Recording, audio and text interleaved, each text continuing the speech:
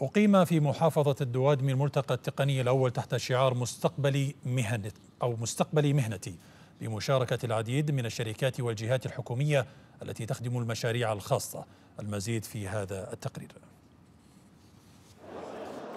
مستقبلي مهنتي.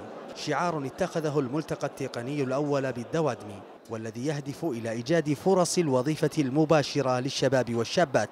ودعمهم في المشاريع الصغيرة والمتوسطة بمشاركة 13 شركة خاصة وأربع جهات حكومية.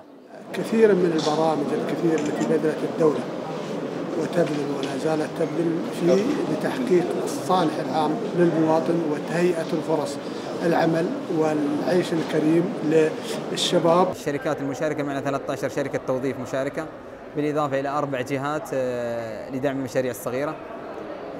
تقدم دعم مالي لأصحاب المشاريع الصغيرة لبدء المشاريع. آه، بالإضافة إلى معرض تقني للتعريف بأهمية البرامج التقنية التي تقدمها المؤسسة العامة للتدريب التقني والمهني ممثل بالكلية التقنية بالدوادمي كلية تقنية البنات والمعهد الصناعي الثانوي بالدوادمي على هامش الملتقى فتحت الكلية التقنية والمعهد الصناعي الثانوي باب التقديم والتسجيل في الكليات والمعاهد الصناعية للالتحاق بركب التعليم المهني في المحافظة.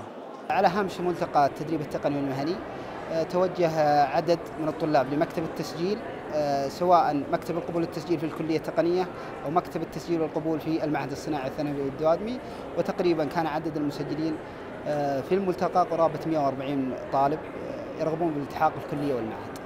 صاحب الملتقى معرضا للفن التشكيلي والنحت والصور الفوتوغرافية والذي تشارك به فرع الجمعية السعودية للفنون التشكيلية. بالإضافة إلى جناح للأسر المنتجة لعرض منتجاتها ودعمها في المحافل الاجتماعية.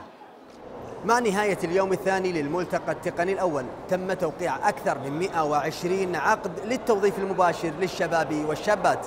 أحمد الثنيان الإخبارية محافظة الدوادمي.